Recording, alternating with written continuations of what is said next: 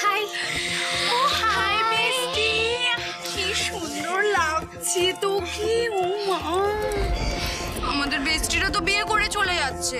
এবার তো আর তোর পাত্তা পাবো না রে। উফ কি যে বলিস না তোরা। আমি তোদেরকে পাত্তা দেবো না? আমার বিয়ে হয়ে গেলে আমি তোদেরকে উইকে অন্তত একদিন শপিং এ নিয়ে যাব আমার আচ্ছা আচ্ছা আস্তে আস্তে আস্তে। বাপরে। তুই এসেছিস তো ভাবতেই পারিনি যে তুই আসতে পারবি। থ্যাংক ইউ সো মাচ বাপরি আমি থোড়ি তোর জন্য এসেছি নাকি? আমি তো এসেছি রাহুলের জন্য। আর ওর সাথে আলাপ আমার হয়ে গেছে। মিলি কোথায় ছিলি মা? তোকে না দেখতে পেয়ে আমি তো হয়রান হয়ে গেছিলাম। সত্যি তো কখন থেকে আমরা তোকে খুঁজছি? সব ঠিক আছে তো মিলি? হ্যাঁ, তো তো- তুই ঠিক আছিস তো? তোকে না দেখতে পেয়ে আমার আমার মনে ভয় ধরে গেছিল মা। ভয় জানো না থাক। রাহুল তো আমাকে কাউকে বলতে এখন বারণ করল।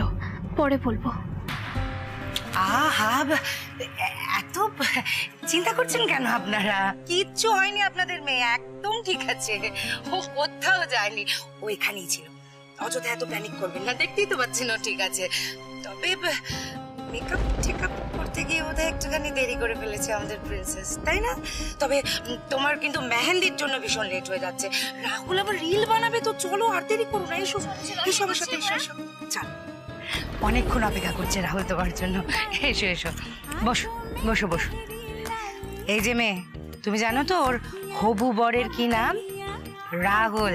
খুব সুন্দর করে ওর হাতের মাঝখানে একটা হার লিখে দাও তো। আরে মিষ্টি মেয়ে। কোনো কিছুরই তো নেই অভাব, ভালোবাসা ছাড়া। তাই তো খুঁজছে সে মনের মানুষ হয়ে দিশে হারা। আদরেরই ডাকে, ডাকবে কে তাকে, কে যে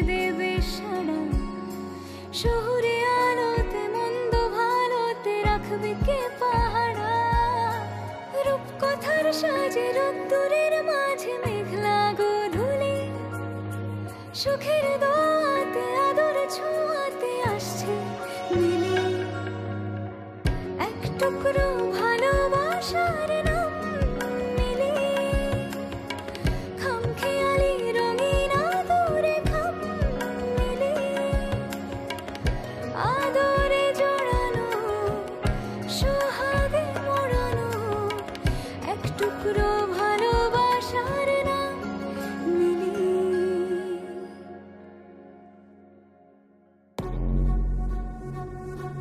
নমস্কার।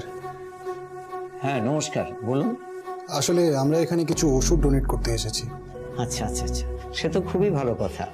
আমাদের হাসপাতালে অনেক গরিব মানুষরা চিকিৎসা করাতে আসেন।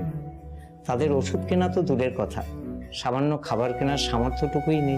হ্যাঁ সেই জন্য তো অর্জুন দা এসব ওষুধগুলো নিয়ে এসছে। কোথায় রাখব? এই তো এখানে রাখুন।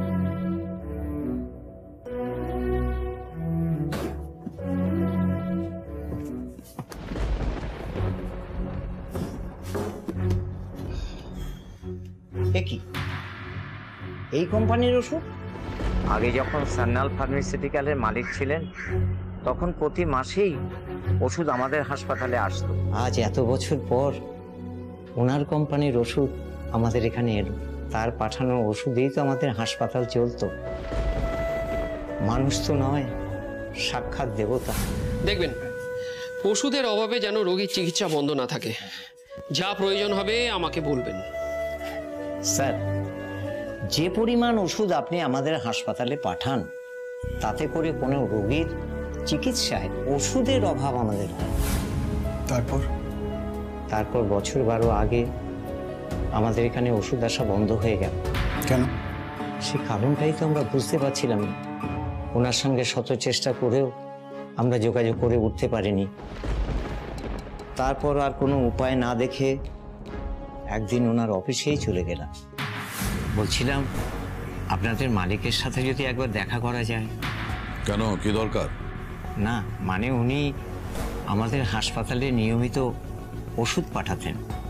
এ মাসের ওষুধগুলো তো আসেনি। অনেক গরিব মানুষ খুব বিপদের মধ্যে পড়েছে। তাই একটু কথা বলতে চাই।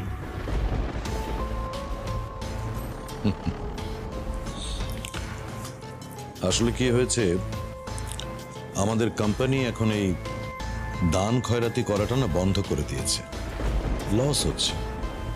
আপনি এক কাজ করুন। আপনার ওষুধপত্র যা যা লাগবে আপনি কিনে নিয়ে যান।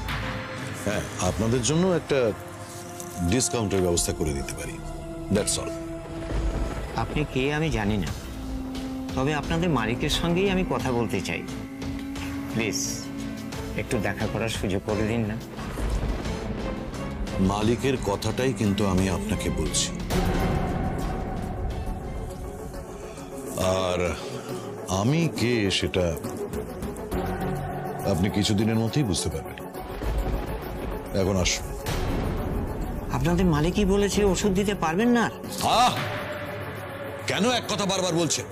I am not suppose to answer your question আসুন। একেবারে কুকুর ছাগলের মতো ব্যবহার করেছিল আমার সাথে। ওই কমলেশ রায় বর্মন ওকে আমি কোনোদিনও ভুলবো না।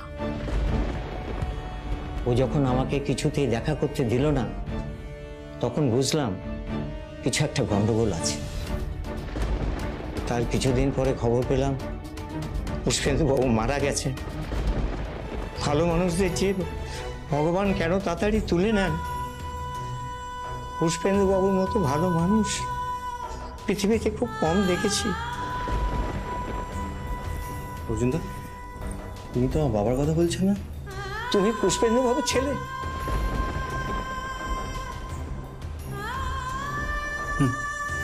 উনি আমার বাবা। তুমিও তোমার বাবার মতো গরিবদের জন্য ওষুধ নিয়ে এসেছ। আজ এত বছর পর। এবার থেকে প্রতি মাসে আমি ওষুধ নিয়ে আসব। বাবার মতো মনটা পেয়েছ তুমি। এটাকে বাঁচিয়ে রেখো বাবা। আজ তাহলে আসি কাকু।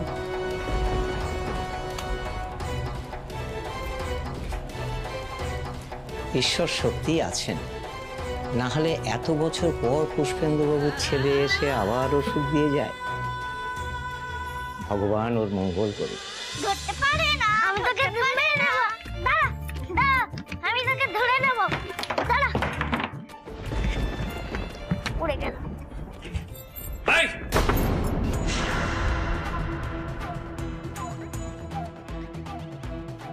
আমার ঘরে কি করছিস? কেন হাত দিয়েছিস ওগুলোতে? জানিস কত দাম ওগুলোর? আমি ইচ্ছে করে করিনি হাত লেগে পড়ে গেছে। বল কে তুই? কে? কার সন্তান তুই? তোর সন্তান।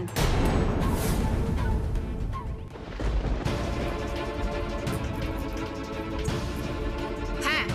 এই শোন এইসব বাজে কথার আমার কাছে সময় নেই। ওদেরকে ইমিডিয়েটলি আমার ঘর থেকে বের কর। ইমিডিয়েটলি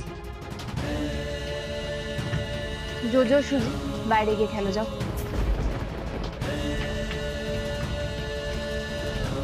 আজ যদি চন্দ্রাক্ষকে ভালোবেসে একসাথে সংসারটা করতিস তাহলে তোরও এরকম একটা সন্তান থাকতো। সন্তান থাকতো সন্তান থাকতো সন্তান থাকতো চন্দ্র অবশ্য তুই বাবা হওয়ার ডিজার্ভ করিস কি না সেটা নিয়ে আমার যথেষ্ট সন্দেহ আছে। জ্ঞান দিচ্ছিস তুই আমাকে? তুই আমাকে জ্ঞান দিচ্ছিস? গলা নিচু করে আমার সাথে কথা বলবি? একদম গলার আওয়াজ তুলবি না। যেই মেয়েগুলোকে নিয়ে রিসর্টে যাস, তাদের ওপর রোয়াব দেখাবি, আমার ওপর নয়। আর শোন মেয়েগুলোর মধ্যে যেদিন একজন এসে টুটিটা চিপে ধরবে না, তখন বুঝতে পারবি মজাটা। লুজার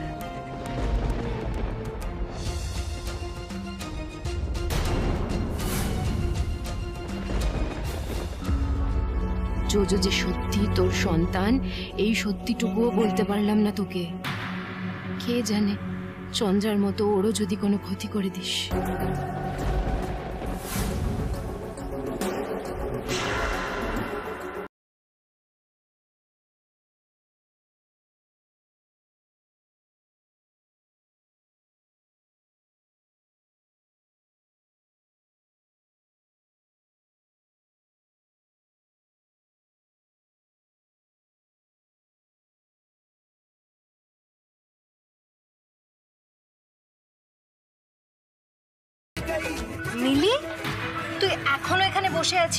করছিস বলতো? চল আমাদের সাথে গিয়ে ডান্স করবি।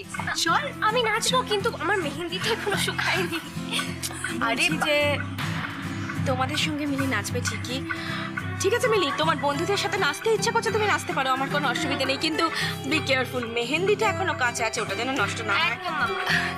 এই তো আন্টি রাজি হয়ে গেছে। কিন্তু আরেকটা কথা রাহুলের সাথে কাপল ডান্সটা কিন্তু এখনও বাকি আছে মিলি। দেখো এই সব নাচ টাচ করতে গিয়ে আবার টায়ার্ড হয়ে যেও না। রাহুলের সাথে নাচটার সময় কিন্তু খুব ফ্রেশ লাগতে হবে ওকে আন্টি ও তো রাহুলের সাথে ডান্স করবে কিন্তু তার আগে একটু বন্ধুদের সাথে ডান্স করে নিক কেমন?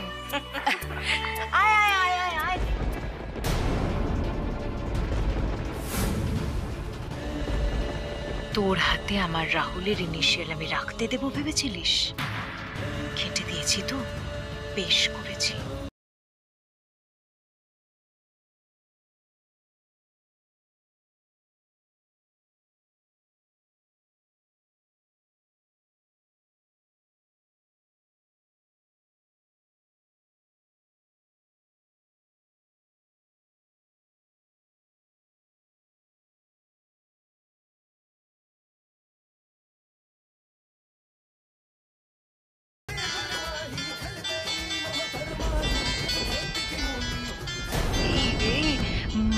কেন এখন ফোন করছে? হ্যালো? হ্যালো মা? হ্যালো কোথায় তুই? হ্যালো? মা আমার আমার একটু ফিরতে দেরি হবে। আমার একটা কাজে আমি আছি। হ্যালো? কাজে কাজে আছি মা ফিরতে দেরি হবে। আরে ফিরবি মানে এটা কি কোন কাজে আছিস? তুই কোন কাজে এত এত জোরে হিন্দি গান বাজে? আমি আমি কলেজে কলেজের ফ্রেশার্স ফ্রেশার্স হচ্ছে সেইখানে রিহার্সালে আছি। তুমি প্লিজ এখন এখন রাখো আমার একটু দেরি হবে ফিরতে চলে আসব আমি ঠিক সময়। আরে ফিরতে দেরি হবে মানে এটা কি তুই বাড়িতে বলে গেছিস যে ফিরতে দেরি হবে? এক্ষুনি বাড়িতে ঢোক পাপড়ি। মা আমি নিজেও জানতাম না আজকে কলেজে এসে জানলাম। তুমি এখন প্লিজ ফোনটা রাখো। আমি তোমাকে পরে ফোন করছি ওরা আমাকে ডাকছে মা। হ্যালো হ্যালো রাখবি না ফোন রাখবি না। আমার কথা শোন। বাড়িতে বলে যাসনি পাপড়ি এক্ষুনি বাড়ি ঢুকবি তাড়াতাড়ি আয় বাড়িতে। হ্যালো হ্যালো শুনতে পাচ্ছি না হ্যালো। আরে হ্যালো। আশ্চর্য। বাড়িতে বলে গেল না মানুষ যে চিন্তা করে সে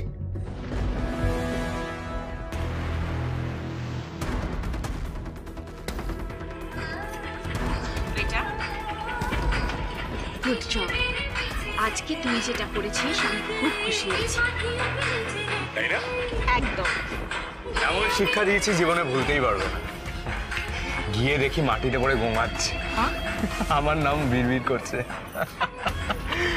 একেই বলে হাতের ইশারায় নাচানো মম।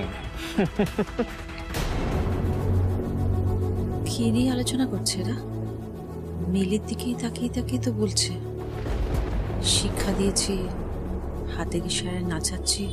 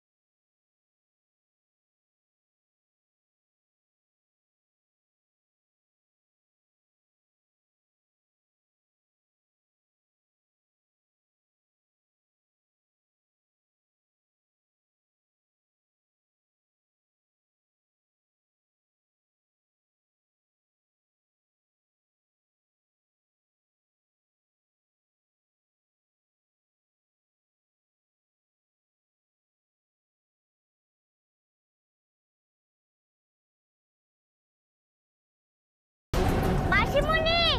ওই দেখ সূর্য ওটা আমার মাসিমণি। মাসিমনি মাসিমণি! ও মাসিমণি! মাসিমণি!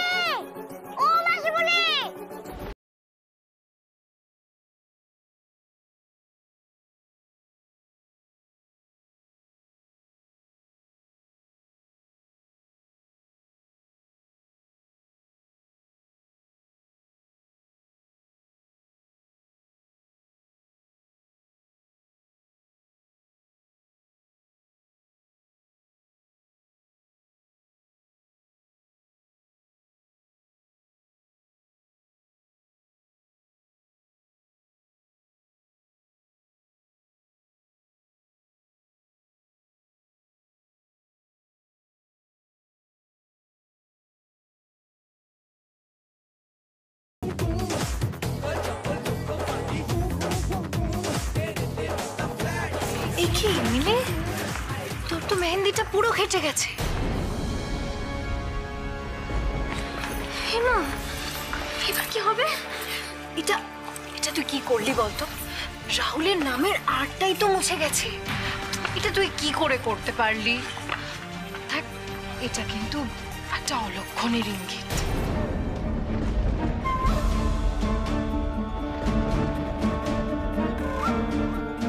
জানি বাবা, রাহুল আবার তোর কপালে আছে কিনা?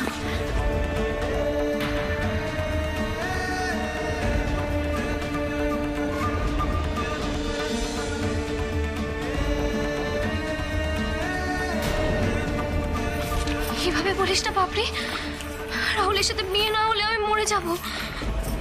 রাহুল আমাকে কত ভালোবাসে। আর এটা দেখলে তো আমি কি করে ফেললাম এটা বলতো? হাড়ের বদলে কি হয়েছে?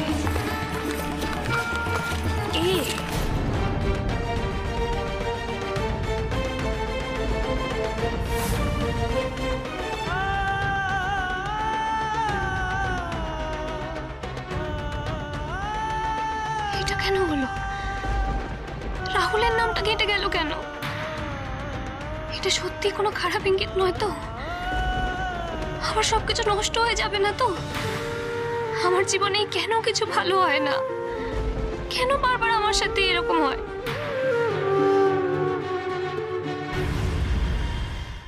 বাম্মা জানো তো আজকের দিনে আমার হাতে রাহুলের নামটা কেটে গেল।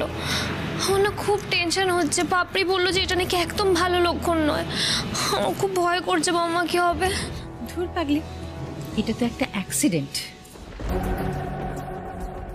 এমন শিক্ষা দিয়েছি জীবনে ভুলতেই পারব না। গিয়ে দেখি মাটিতে পড়ে ঘুমাচ্ছে। আমার নাম বিড়বিড় করছে।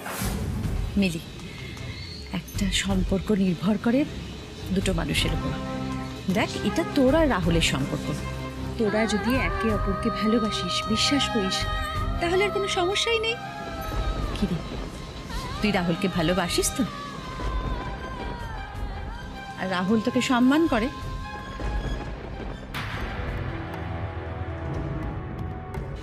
সম্মান? হ্যাঁ মিলি। স্বামী স্ত্রীর সম্পর্কের মূল ভিত্তি হলো সম্মান। স্বামী যদি স্ত্রীকে সম্মান না করে তাহলে সে বিয়ে কখনো সুখের হয় না। দেখ তুই তো রাহুলকে ভালোবেসে বিয়ে করছিস। এই ভালোবাসার দায় কিন্তু তোর একার নয়। সমান দায় কিন্তু রাহুলেরও। তোকে জানতে হবে রাহুল সেই রেসপন্সিবিলিটি নিতে পারছে কিনা। বুঝলি? হ্যাঁ বাম্মা রাহুল আমায় খুব ভালোবাসে। খুব যত্ন করে ও আমার। ও আমাকে ছাড়া কিছু ভাবতেই পারে না। কি সরল মনের মেয়ে রে তুই মিলি? তোর সাথে যে কি হতে চলেছে তার কিছুই তুই বুঝতে পারছিস না। মিলি বিয়ের আগের সম্পর্ক আর বিয়ের পরের সম্পর্ক কিন্তু এক হয় না। স্বামীর যেমন সব দায়িত্ব স্ত্রীকে নিতে হয় স্ত্রীরও দায়িত্ব স্বামীকে নিতে হয়। আর স্বামীর দায়িত্ব স্ত্রীকে সবসময় ভালো রাখা। এই সব কটা কথা ভেবে তুই বিয়েটা করছিস তো, মা?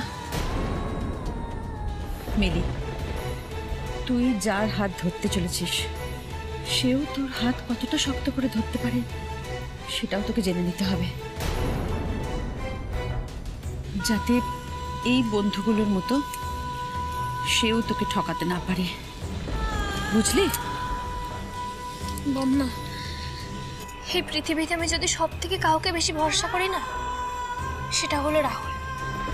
আমাকে কখনো অবহেলা করে না জানো? কিন্তু আমার মনের মধ্যে না বড্ড কচকচ করছে ওর নামটি এভাবে ঘেঁটে গেল কেন বলো তো ঠিক আজকের দিনে? তুই মেহেন্দির রং নিয়ে এত ভাবছিস কেন মিলি? এটা তো পার্মানেন্ট নয়। দেখ জীবনে পার্মানেন্ট যদি কিছু থেকে থাকে সেটা হলো কয়েকটা সম্পর্ক। বুঝলে? আমরা চোখে যেটা দেখি সবসময় কিন্তু সেটা সত্যি হয় না।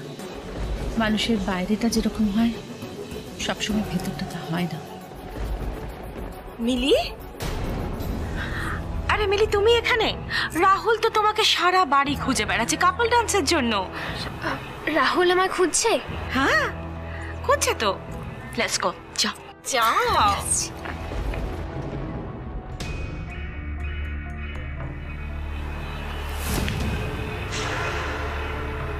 কি চাইছো তুমি দিদি? একটু পরিষ্কার করে বলবে?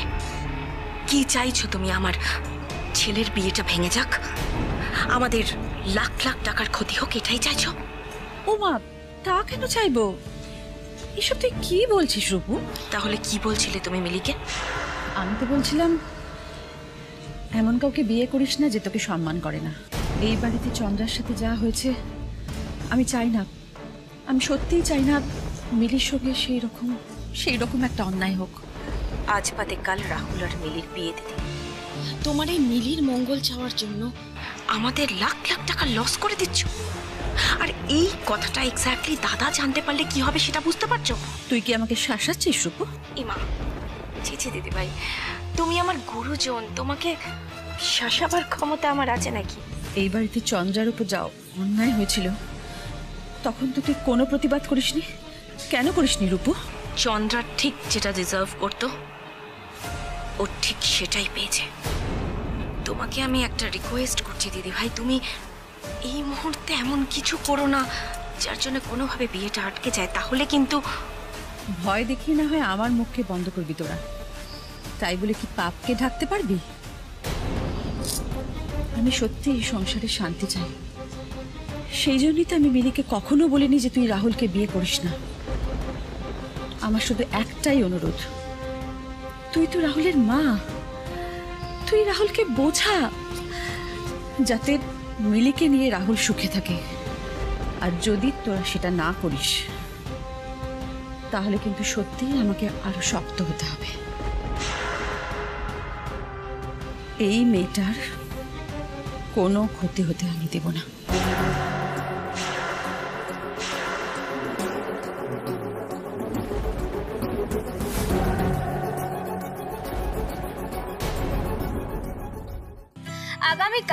মহালয়ায় ভোর পাঁচটায় জি বাংলায় দেখুন বিশেষ অনুষ্ঠান নবপত্রিকায় দেবীবরণ।